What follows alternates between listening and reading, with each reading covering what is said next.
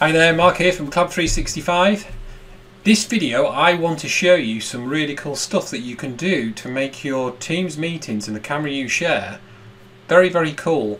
So if you want to do things like share a video and have the video play seamlessly to your people in your meeting including the sound which is really really hard to do with Teams just out of the box you can do that and also if you can't wait for the Teams background customization to come in because it maybe hasn't rolled out to you yet then keep watching because I'm going to show you some cool stuff. And if you ever want to do any uh, kind of quite cool events where you, perhaps you've got some green screen going on in the background and you want to see some get set some scenes going up because you want to do a professional presentation to your company then also keep listening because I'm going to show you a product called XSplit Broadcaster. Now XSplit Broadcaster is actually a tool that we've used at Collab365 to do some of our live events and in fact, what happened is we went to Microsoft and we did one of our conferences from there and we set up a massive green screen, chroma screen. Uh, and then we invited all of the Microsoft speakers in and we set a whole setup and we made the whole thing look seamlessly from Microsoft. And that was all done, funnily enough, with a few cameras, some lights, a green screen, and XSplit broadcaster.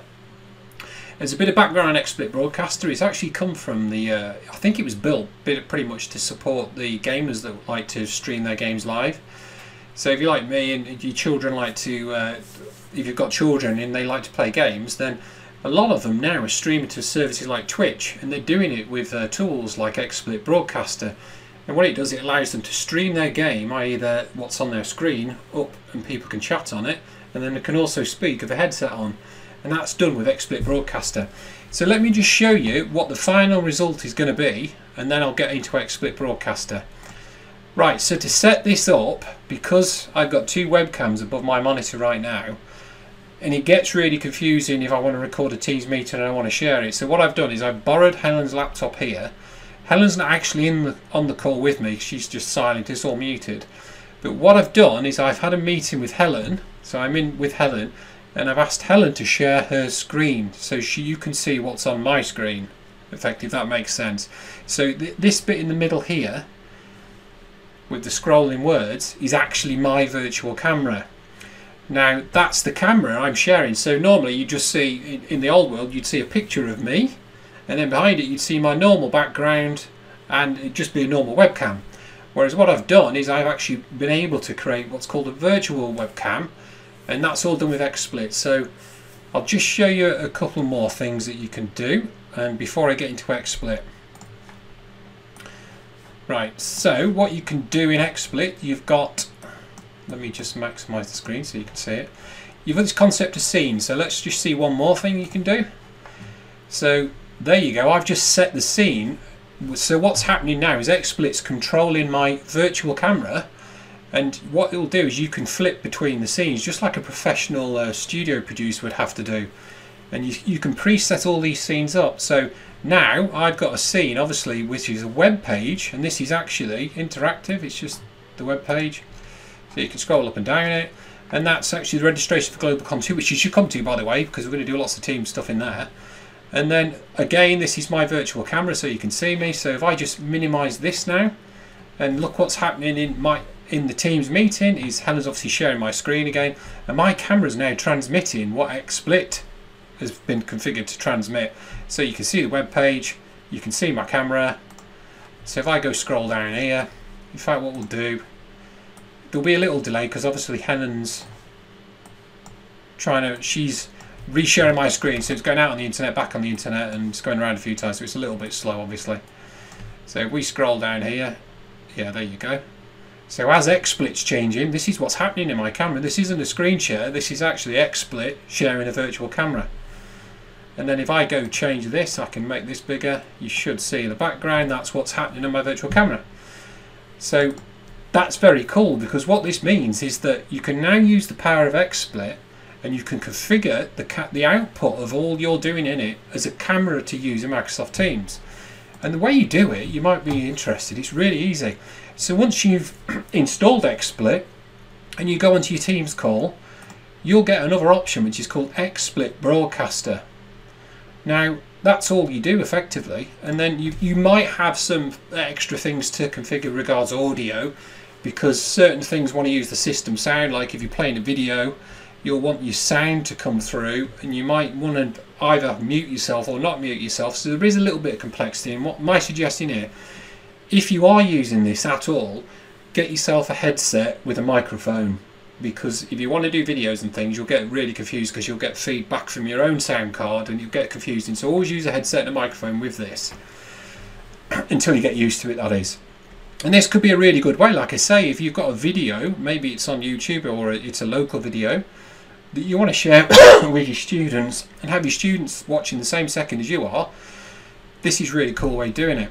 So that's all you do from Teams point of view side. There's nothing more complicated. You want to set up, you keep your microphone the same. Uh, so if you've got a separate microphone, then you'd keep you'd put that in there. But you that's all you do is you put pick XSplit Broadcaster as the camera. So normally I would pick Logitech B9 WHD webcam, or I'd pick my USB Live camera but I'm not going to because what we've told is XSplit uses that camera to do it for us. So it's actually using my Logitech B9 HD webcam. It's taking the feed from that and then it's doing some post-production and making another camera. So it's acting like a pass-through for your camera effectively. So that's it. I hopefully uh, you can see from the Teams point of view what's what it's like. I won't show you too much more about Teams because as I say the resolution's not brilliant because we're sharing back in and out. So let's have a quick look at XSplit. So as I mentioned, you get this concept of scenes and you can set all these up before you go on a call. So what I've done here is that's you have this concept of a scene and I'll just show you one from scratch actually.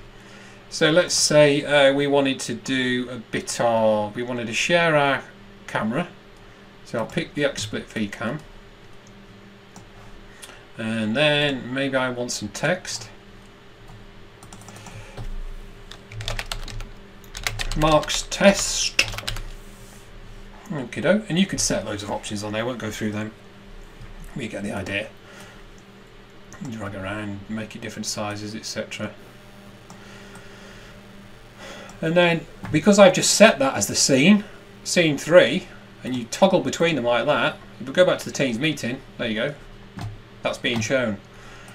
Uh, you can, like I said on the other areas, you can actually overlay that's now a video playing. So that's the video I've got locally on my machine and the way you configure that is you have, uh, sorry they're the wrong settings. There you go. So the video is there, so it's D, Mark Docs Camtasia chat. This is actually a chat jam, and I've set it when you set the scene to automatically start at 14 minutes 58, which is where it was visually appealing. But I can say restart it, and those values, basically, if you click and change the scenes, what it'll do is, if you've configured it to, it will restart the video at that particular point in time. So it's a really nice way you can actually get a YouTube video starting at, you know, five minutes into it, set your scene up, and then as soon as you on your call and you click change scene, it will change your video to go to the exact second that you want. And this is how you can control things: is that you create, you effectively create your scenes. Some of the other things you can do, which uh, it's a bit hard for me to demo, but you could actually you can bring in other streams. So there's loads of applications out there that allow you to push out streams. So that so effectively, I could push out a stream that's streaming to Facebook, and I'm pretty sure there's a way to take a Facebook Live and bring this into a stream. And then likewise, actually, while I'm on that, one of the powerful bits about YouTube is that you can stream to places like Facebook, YouTube, uh, or a custom RTMP feed. So you can go, or I think LinkedIn you can do nowadays. So effectively, at the same time I was on my call sharing my camera with people in my company, if I wanted to, for whatever reason, I could also stream it live to YouTube or I could stream it live to Facebook. So maybe you've got a Facebook group and you could, all you do is you put your settings in there, pre-configured. In fact, I won't do this now, but if I wanted to go live and show everybody on uh, Collab365 group what it's this video, it would just literally start streaming into the video as well as me being on this call. So that's a really nice thing. There's another function which I don't have behind me. I, I haven't got a green screen set up. But what you can effectively do is you can have a green screen set up with proper lighting and then with this you just chroma key things out. So I'm not sure you can do it on this one.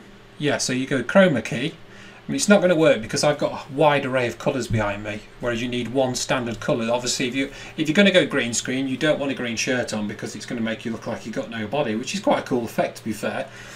But yes, so I can do chrome. It'll, make, it look a bit dodgy now, but I can do an eyedropper tool, and I could say get rid of that. It's not really going to show much there for me. Uh, let's try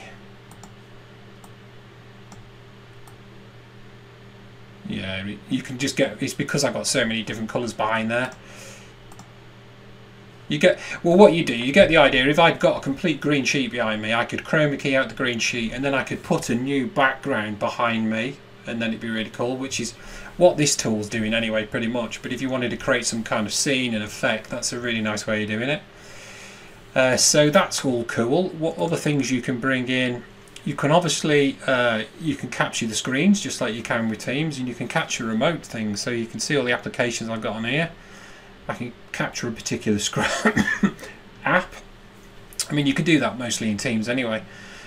Uh, you can obviously bring in different audio sources if you like.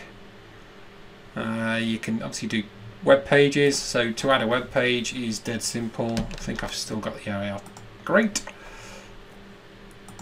and then this is all layers as well that's a good thing to show you. So these are all layers but so because that one's at the top it's appearing over the camera. And so to move it down you do that and it's now gone behind. You can also drag it around and move things around. Obviously if you had more time you'd make it look much better. Uh, so what else is there? Like I mentioned streams uh, general widgets Yo, you can bring. Oh, that's a good one as well. So, for example, if you've got Skype, if you've got people on a Skype call, uh, and you want to bring those in, maybe they can't get in Teams for whatever reason, and you just want to bring somebody in Skype, you can actually add a Skype widget, put the uh, your username, your uh, Skype ID in there, and then you can connect to people, and then bring those people into the call, and then imagine you've got somebody. I could probably show you this if you'd like to see it.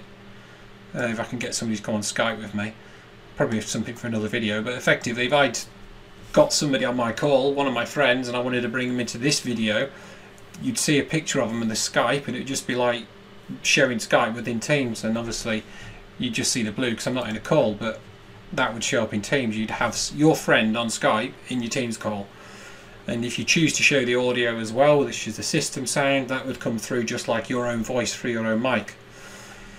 So that's XSplit. If you want to find out more about it, it is really quite cheap because I say it's aimed at uh, youngsters, so they've really kept the price well. It's, it's, as good as other stuff where you pay a few thousand quid for it. So if we go to XSplit, XSplit, XSplit, there you go, it's xsplit.com, uh, products, don't know you get the price to be fair. I've been subscribed for so long. I pay. I think I pay uh, once a year. Uh, upgrade. Oh, anyway, I'll let you find the price. Oh, you go. Oh, here it is. Look. So it's 199 lifetime license, which is pretty good. Yes, that's quite cool. Yeah, it's 100. Looks like it's 199 dollars for a lifetime, which I think is actually cheaper than I paid. So that's it. So if you have a need to do cool things in your team's meetings and you want to get a bit more flash with it, or if you want me to show you more of this, I'm I do have my green screen that's outside packed up in my garage and it's been there for a while. I could go and bring it out. It's just a bit of a pain because my room's not really big enough. But I could actually go and get the green screen out and I'll set the lighting up if you'd like me to show you that effect. But I'm kind of hoping that you understand what you can do with green screen. That's all from me. I hope that's not been too complicated. I may have made it more complicated than it probably needed to be simply because I'm having to do a, show you a Teams meeting in a Teams meeting at the same time as we trying to record everything. So it's one of those things that's possibly better done with two people because then I can get them to do that side of things and I can record their screen.